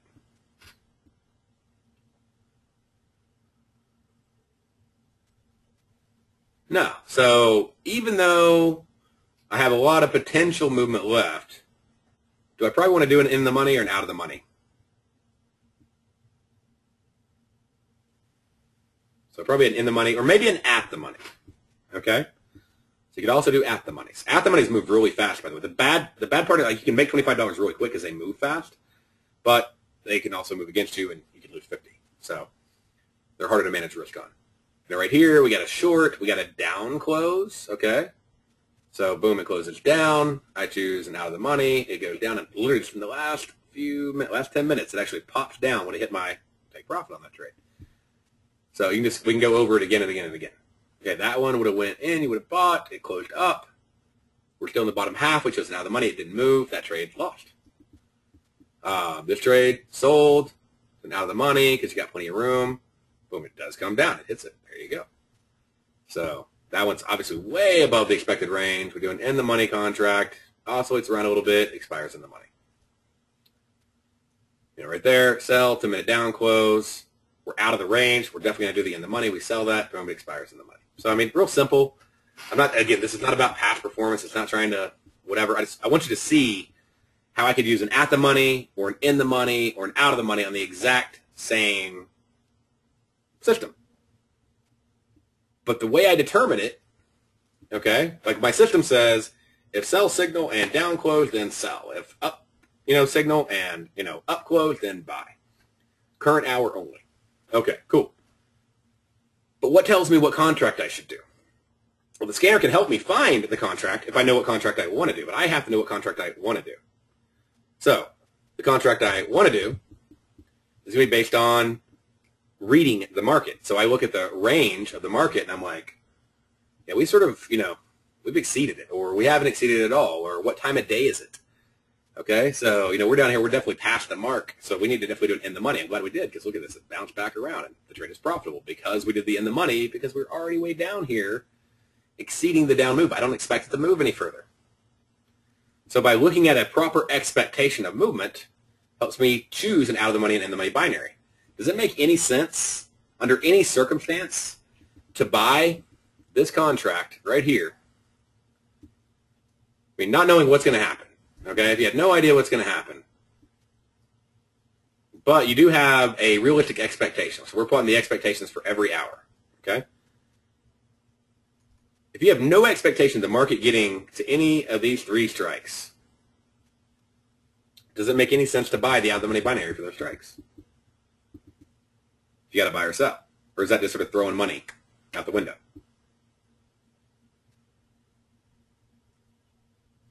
So yeah, so you want to have like it's out the window. You want to have like why am I buying it? Not just oh, I like the risk reward. Not just oh it's an out of the money so it qualifies. Okay? Or it's an in the money so it qualifies. Does it make sense? Why would I think the market's going to keep going? Well, you got a sell signal. But has it moved how far it usually moves that hour of the day of the week? If it does, it's probably just going to chill out for the next hour. If anything, it's probably going to come back, and this, this little like darker red zone, that's the close. So like this is how far we expect it to move from high to low, and this little darker red zone, that's how far we expect it to close. So if it closed here, we expect the next close to be about right here. And it is. Closed there, we expect it to close there. So it's not that it's always going to be spot on, but it's, you know, it's pretty accurate. Um, if nothing, it gives, it gives you an objective method. Nothing else gives you an objective method to determine proper strikes. Somebody says, I think, based on like magnet pricing or whatever, that the market's going to hit this price. Well, then I'm going to say, great. Sounds like you got a good trade. Looked at your volume analysis. That looks awesome. Let's go ahead and um, let's try to, you know, make that a little further out binary because we need to make sure that our price is within that range. So if I think it's going to get all the way up there down there, how long do I think it's going to take to get there? Okay? So that way I don't choose a binary like you're right, it went there, but it expired before it got there. So, like, all right, well, ah, four hours still isn't enough. I need to add more time. If I think it's going to get there, I need more than four hours because that's how, like, it shouldn't really get lower than this point in four hours. So I can keep expanding that zone out until I get it. Okay? Um, let's see, uh, speed. Okay, we talked about speed before in a couple of our webinars. Out of the money binaries are going to move really, really fast if they're close to being at the money. Like there's sort of a range, you could say. And if we go in and if I grab this, let's say, let's move this over here for a second. Like there's sort of a, what I call a speed curve on the price. Okay? And then we'll grab this one. We'll just turn it around. Come on. Work. There we go. All right. So let's say we have two hours. Okay? And the more in this zone it is, the closer it is to the center, the faster it's going to go. Okay? The further out it is from the center, the slower it's going to go. Meaning like the further that strike is. So it's at $50, that binary is going to move like 20, 30 bucks in like one strike move. Okay, very fast. If it's at 70, it's going to have to maybe move two or three strikes to move like 5 or $10. Okay? The closer you get to expiration, the faster all this speeds up. So now the, the extreme speed is like right down here versus having to have a bigger move, like only a few ticks will get you to that extreme speed really fast. So there's really not an area where you have slow speed as you get closer and closer to expiration. For the further you are from expiration, the slower that the binary will move. Um, the further you are from the strike, the slower the binary will move. So the further you are from the strike and the further you are from expiration, the slower the contract will change price. Um,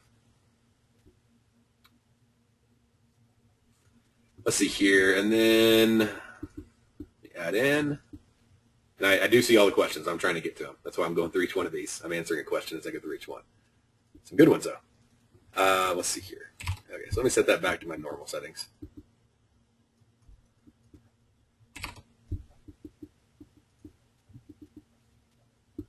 All right, so um, let that load up.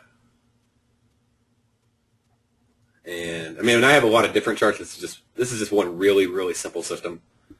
Um, but at 6 a.m., the expectations. So I could actually probably just open it. Expectations of high to low. Where's that at? I can tell you what tomorrow's is. Um, Let's see here. Where is that?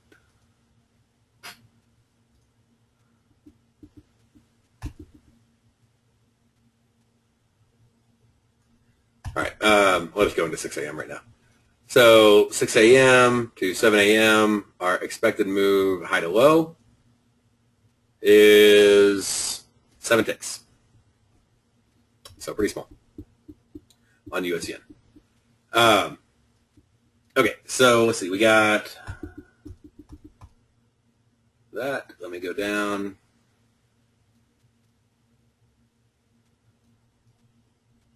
Got all those questions. um, when is it too late to get out? Good question. Okay. Um, well, you're always allowed to get out as long as there's somebody on the other side of the trade. Okay.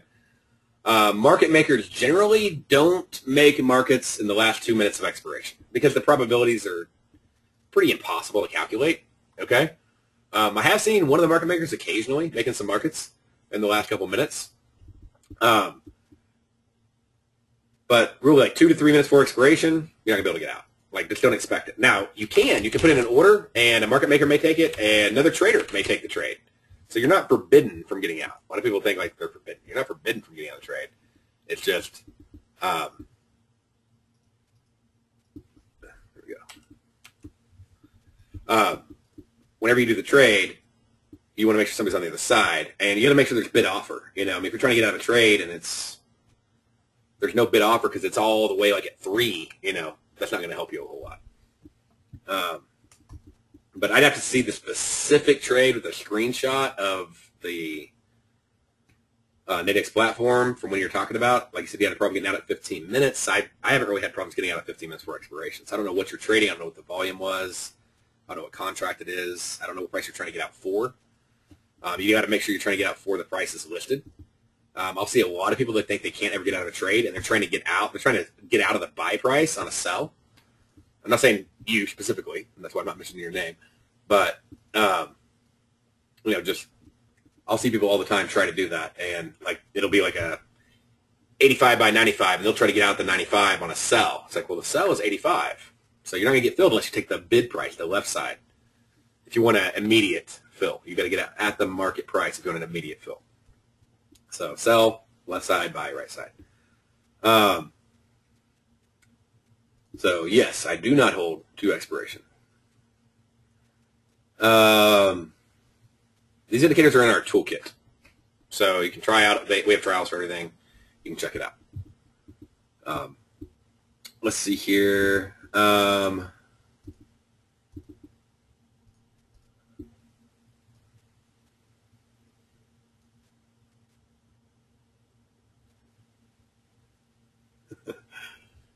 So if my trading expenses are 200 bucks a month, how many times do I need to make a, how many trades on average do you need to make profit to cover a trading expense of $200, whatever that expense would be? Uh, how many times do you need to make a profit? Well, you need to make 200 bucks.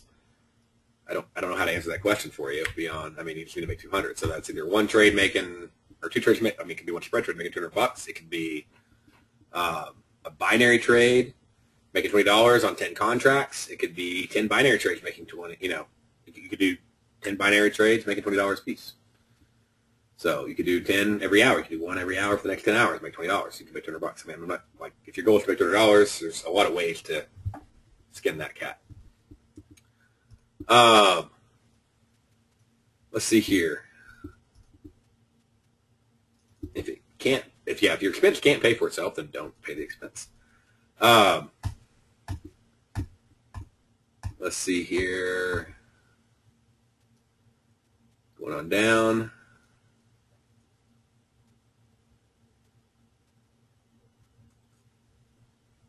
So what are the core trades that you do every day? Uh, they're a beginner trade. They're very much a beginner, beginner, beginner trade. So it's a it's basically teaching people how to get in a buy trade and set a take profit, and the ability on how to can like once like basically put in a buy trade if not filled, how to cancel a trade. Put in a buy trade if filled, put in a take profit order. Adjust that take profit order if necessary. Put in a sell trade, and if not filled, then submit a cancel order to free up the capital. If filled, then set a take profit order. And then if it needed, adjust the take profit order. It's literally just a, it's a get you going trade, like one time a day. It's a, uh, that's what it's there for. So obviously we encourage everybody to go way past that. That's just a core, like the, the most fundamental thing is just learning how to place the trades. That's a real simple. That's why there's only one a day. It's why it's really simple. Just to help people get accustomed to in your trades. Like at 11 a.m., we're like, okay, we're going to look at buying the NASDAQ at this price. We put in a buy at 57, and let's say the market's at 65. Then you put in a buy at 57. You wait for it to get filled. If it doesn't get filled, it runs up to 95 to our take profit. Then we'll say, hey, cancel the order out. It never got filled. If it falls down and hits 57, then, you know, I mean, it doesn't matter if the price is at 57 when it comes out. It just matters does it get to it. When it does get to it, we'll send out a, hey, set a take profit order. We got filled. Then it'll move to it. So it's meant to be really slow, really simple and just get you accustomed to placing orders because I mean you had to start somewhere. So it gives you a very simple way to get started. It's not something you want to go like crazy with. Um, let's see. It's just seasonality and technical analysis combined. Um, let's see. Got that. Good job. Lots of good questions. Good answers by y'all. Um, Gary got you on how to set that take profit, how to get out of a trade take a loss. Robert got you on. We got the mobile app. They do not we. They have a mobile app. Um, Serini asked, uh, let's say I like to trade euro dollar. Where would you go to have any idea of the coming week forecast? Uh, well, I guess define forecast, define what you're doing. I mean, do you need a week for intraday binaries? Do you need a week for daily binaries? So, I mean, we show you how to trade intraday, daily, and if you want to go weekly, you could. It's a to me, it's an absolute waste of time uh, because you trade more time to make more money, to get a larger move. A binary is worth 100 bucks, whether it expires in five minutes or five days. I don't have to spend any more time on a weekly than I do on an intraday. I don't have to sit at my computer any more time, either way. Okay? Uh, obviously, the strategy is to find how much time I spend at my computer. But why would I wait five days to wait, make what I can make in five minutes? Unless there's a really good reason for doing it, and it is much harder to predict where a market's going to be the more time you go out from expiration. Why? Because more events happen fundamentally. So it gets exponentially more and more difficult to actually trade the further out you go in time. But as far as like if you want to trade euro dollar, yeah, we have people trade euro dollar all the time. You know, hop on our forum, hop on our site. We'll be glad to help you out. But you're going to want expectations of movement. You're going to want to know how far it's going to move each day. You can even plot these things to go out for a week. You can go in 1440 times 7, you know, and plot it out. Um, hopefully that helps. Um, is the strike price the same as an open price? No. A strike price is the, the contract itself. So it's the actual contract over on Nadex, okay? So on Nadex, like whatever the price is that's listed, if it's greater than 1.3840 or, you know, whatever, um, let's see, I don't know why this thing zoomed way out, but uh, here we go. So the price is $86. Like, so if I bought it for 86, that's the price I opened the price for. The strike is greater than, it's the contract itself, greater than 101.80 or greater than 101.60 or if I'm selling, it's it's opposite of that. I'm saying that's a false statement. So I'm saying it won't be greater than it'll be less than or equal to. So the strike is the contract name. The open if you're buying a contract, would be the opening price of buying the contract. The open on a bar is the first price printed on when a bar opens itself. Not sure if that's what you're asking, Norman, but I hope I got it for you. If not, let me know. Alex, uh, what is an iron condor, an iron butterfly, etc.? How to use them? Um, an iron condor is where you buy a spread below the market and you sell a spread above the market, and you do that to collect premium on uh, spreads, right? Um, let's see here. I don't know why this thing's like this is zooming like crazy.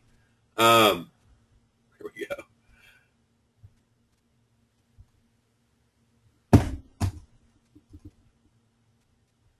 Grab my other mouse. See if that fixes the problem.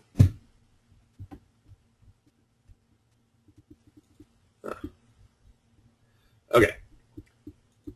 So if you go over to the Apex website, we have a news section, and we usually do iron condors on news specifically. Um, if you go to the news trading plan, I think we need to update something, but I'll show you where it is so you can get it if it's not done already.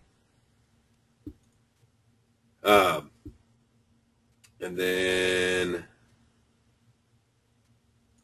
go over here to the month view. Yeah, there we go. We got on the first. Okay. So right here, I actually have a list of Iron Condor trainings. It gives you, like, this is a YouTube video I made. This is a webinar I did. This is a live walkthrough, like a, a on my, my radio show, me doing it. So I teach you how to do Iron Condors.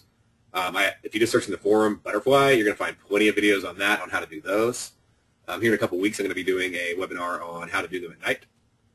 So, uh, but yeah, I mean, an iron an iron butterfly is collecting premium, an iron condor is collecting premium. So I'm going to buy a spread below the market, I'm going to sell a spread above the market.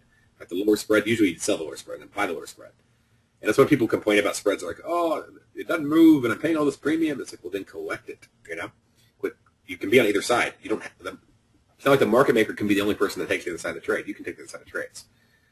Binary um, butterfly, iron butterfly, that's where, like, say if I oh, what's an example? Um, let's go over here. Let's just say if I bought this strike and sold this strike, saying that by expiration it was going to remain in between these two prices.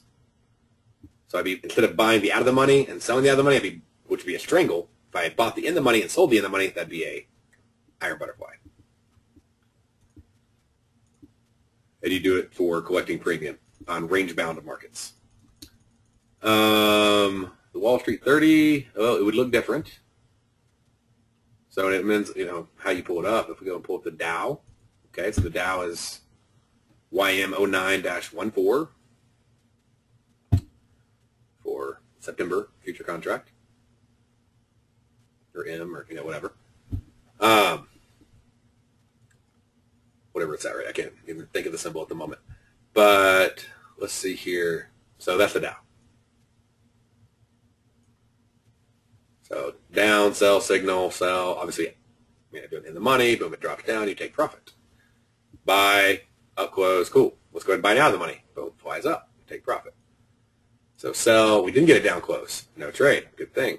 Because it moved up. Uh, market's not open. You don't have an intraday. You don't have an expiration right there. I need to adjust that. Let's see. What should that be? That's the issue. I'm like, where are the nerve strikes?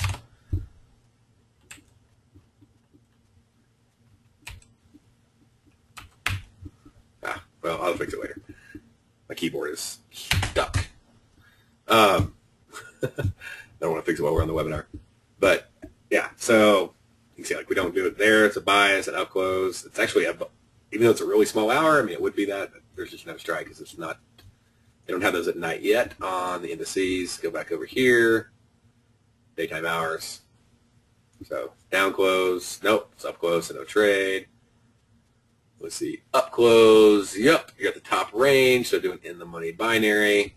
You know, if it gets again, they're 30 points wide. So you'd, and in the money would basically be probably like at 7.0 would be my guess. Um, if I plotted it up, I could fix it for you. But um, so that dropped down, came back up. It may have been lower than that, depending what the exact strike was. That's why I like plotting them on there. But um, anyway, so that's, you know, you could do it on whatever. Um, but that's just a really, really simple strategy. I mean, we have more stuff that's more advanced. Um, so uh, the strike thing's an alpha. It's not public yet because it's it's not accurate yet. so I'm not going to release something to you that's not working all the time accurately. But uh, when I got it, I'll definitely put it out there. So it'll be part of the toolkit, the Ninja Trader toolkit, that uh, the Apex toolkit. Um, let's see here. FX CM connection. Okay, if you're having a Ninja Trader issue, I'm, I'm not going to solve that for you on a, a webinar, Rob. if you're having some uh, platform feed issue, you're going to set up a ticket. I'm sorry. Um, so especially, it's not, it's not an Apex webinar. Um, let's see. I do all different systems. It depends on my schedule. So if I was sitting down just doing one system for six hours every day, that'd be one thing. But I'm not Dan. I don't really have it up there, but we do post all the trades, or you can check them out. And I teach you exactly how I do the system. So it's not like, well, Darrell has this third guru sense. Um, of our motto is don't follow the guru, but become the guru. So teach you how to actually know how to do the system. And uh, my days vary too much, so it wouldn't even be an accurate reflection for you to base any any kind of judgment call on. Um, and I'm doing all sorts of things. I'm doing, I'm hedging, I'm throwing in futures, etc. Uh, we're on, uh, if you want to check out our charts, I mean, to get Ninja Trader itself, it's free. We have the thing for free, free data feed, free Ninja. Um, if you want to access the toolkit, we have that on a trial. Um, uh, there is no such thing as best. What's the best? What's the best system? You know, like everybody wants that answer. Me too, right? Uh, it, it comes down to the trader. What hours are you trading? What instrument trading? What settings are you using? But the ones that I've developed we work out go through a lot of battle testing by a lot of traders before I ever teach them to anybody. Um, so, I mean, I'm very happy with all of them. but uh, it depends upon you and what you're trading, and what time you're trading, and what settings you're using. And, I mean, defining best system is a pretty, it sounds so simple, but it's, if it was just buy or sell and just between these hours and just one market, that's very simple. But if you start adding in you got multiple contracts, and like I said, I, well, I'm going to choose an in the money here. I'm going to choose an out of the money there. I'm going to do this. You know, uh, the scanner. I got multiple choices. It's a little bit more complex, but we do teach you to walk through it step by step. Um, we're doing a strangle. How far out of the money each direction do you choose? So um, you're asking about the dollar franc news trade in the morning. Oh, I'm not doing a strangle on the dollar franc news trade in the morning. I'm doing the opposite of that actually. So if you go over and look at my dollar franc uh, trade, see if it's posted up. Yeah, I already got it up there. Good job, Caleb. Um, but so CP, C, the franc PPI news is being released at 315. We're going to find an iron condor on the dollar franc. If we can get 35 bucks, we'll be happy. I don't expect it to move more than 35 ticks. And most likely, like 9 out of the last 12, if not more than that, um, moved less than 20 ticks. So I would not strangle that at all like period. No strangle. Rarely do I ever do strangles. I usually, if I do anything like that, I do straddles, but I rarely ever will touch a strangle. So it's uh, there's very specific trades. If you've been with Apex for a while, you know which ones I do them on. But because I'll announce it when I do them, I'll do them on the radio. But usually I do straddles using spreads, or I use iron condors using spreads for news. So if you choose an out of the money on this on both sides, I mean they're going to be 10 ticks wide like a four o'clock, they're going to be 20 ticks wide. For a seven o'clock, it's, it's going to be a rough trade. Uh, let's see here.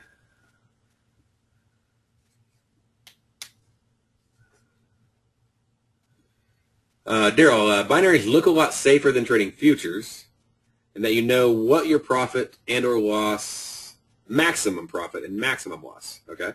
Because you could get out on the loss, you could get out on the profit. Um, whereas futures, you the losses could be huge. Yeah, but the profits can also be huge. So you got to balance that out. Um, I wouldn't compare binaries to futures. I compare spreads to futures because binaries are like the delta of a call option. All right, spreads are more like a Friday expiration, you know, call option itself or put option. They're more like that. So they're a lot more like the market. Um, in both cases on Nadex, your risk is defined, your max profit is defined. But it's definitely safer, 100%, in the sense of there is a maximum profit. You can't keep moving your stop down, right? Like it's not going to get any worse than that. You can put on more contracts, but you can't keep lowering your stop, lowering your stop, lowering your stop, or not putting a stop, and or a flash crash happens, or you know whatever, and you can't ever get a margin call. So in the sense of you have more defined risk, you have you have defined risk, and you can't change your stops on yourself, and um, all that. Then definitely it lowers your risk. So, but again, I wouldn't do binaries to futures. I would do more spreads to futures for comparison. Um, okay, I think I got everybody's questions. If I didn't, post it now or post it in the forum.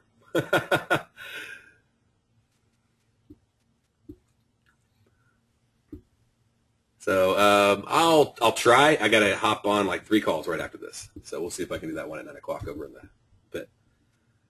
But uh, what do we have on there? What do you mean the Aussie dollar 9 o'clock trade? I'm not quite sure what you're talking about. I don't see a nine o'clock trade. Like we have Franc, PPI. Yeah, this is be aware. This is not a trade. So I didn't tell you to do anything. It says be aware of the movement. So see how there's no plan, there's no iron condor, there's no straddle, there's no strangle, there's no max risk, minimum profit. That's a be aware event. It didn't tell you not to trade. It says it's, it's, it's don't get caught off guard that they're going to release policy meeting minutes here at nine, you know, nine thirty. It's not telling you not to trade. It's just not telling you a news-based trade. So, so there's no specific. Like I, I can't give you stats on something that has no numbers. It's a minutes report. It's what they said. So there's not a forecast on a number. There's not an actual on a number. So the way you use be aware is just to be aware that there's an event coming out and you want to be aware that it's happening so you don't get caught off guard in your trade. That's that's how you use it. So if it says iron, you know, like there's a color chart at the bottom, stuff like that. But yeah, that's the only one tonight. That's just a be aware trade. So the other trades in here, and they're pretty simple. I mean, if you just you got to learn the iron condor to do it. But if you'll follow the webinars up here, most of these are going to be iron condors. If You follow those videos right there. I'll show you how to do it. Um, but yeah, we can do but you can do butterflies, trade reversals, deviation levels, spike reversals, in the money, out of the money, at the money. You can do double binaries, um, you know, strangles. So there's there's a lot of trades. Premium collection. There's expiration premium collection. There's expiration trend collection. We have Apex Profit Poppers. Um, we got momentum scalps. I mean, there's a lot of trades you can do. So that are very defined systems. Um, next week, we're going to cover trading Nadex binaries at any market condition. Okay? So we'll talk about binaries in flat markets. We're going to talk about butterflies a little bit more. We're talking about strangles. Okay? Um, we're talking about the news a lot more next week. So we're going to be diving into the news. So if you're curious about that, then definitely next week um, you want to be on that webinar because that's what I'm going to be going into is how to use binaries in relation to news.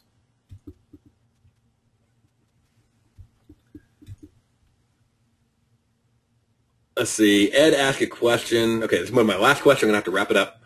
Um, on a sell, you lose the whole $100. On a buy, you lose the cost only if you let it expire. Okay, I, am guessing you're talking about binaries, and the entire statement is inaccurate. On a buy, the most you can lose is the price you pay. If you pay 40 bucks, you could lose 40. If you sold a binary for 40 bucks, the most you could make is 40, you could lose only 60. If you sold it for 80, the most you could lose would be 20 and you could make 80. So in no case would you be able to lose the whole 100 because you can't sell or buy for 100 because nobody can take the opposite side of a trade where they can't make anything. You could say your your risk is technically capped out at 100, but nobody's going to fill you at 100.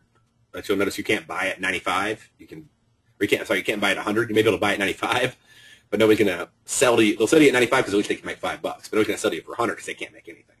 They'll be down fees. So a sell, the risk is $100 minus the price you sold at. A buy, the risk is the price you bought at. So definitely, um, and, and everybody else who's new, I highly, even if you know you think you got it, I highly recommend. I mean, I spend a lot of time making these videos. They're all free. take the time. Don't discount them because they're free. I'm trying to help you out, okay? Watch these basic binary videos so you have the buy and the sell side correct. This is nothing like over-the-counter binaries. If you take anything from those markets into this, you're wrong. And I'm, I know of the counter binaries, and I'm not trying to be combative. I'm just trying to tell you, like, if you take any of that knowledge here on the buy or sell side, you'll have it completely backwards. Because every time I've worked with a trader who's tried to justify and make that happen, has realized that, wow, this is completely different. So it's just buy is above, sell is at or below. The risk is the price you buy at. On the sell side, the risk is $100 less the price you buy at. Okay? So there, there's nothing about holding it to expiration that's going to impact that number. Um,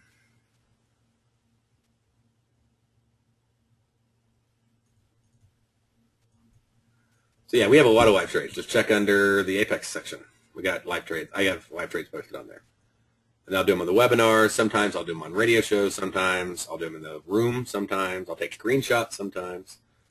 So my main thing is to empower you to be a trader. I'm not. I'm not into a, a spoon feeder. I want to. I want to help you. I mean, I'm a trader. I'm committed to trading.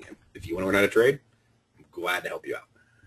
All right. Well, you all have a great night. I hope you picked up a few tips and tricks along the way, and um, you know, hope you got down some, you know, understandings of in the money, out of the money, at the money, and probabilities, and take profits and stops, and uh, just how to put all the pieces together, and least get you going.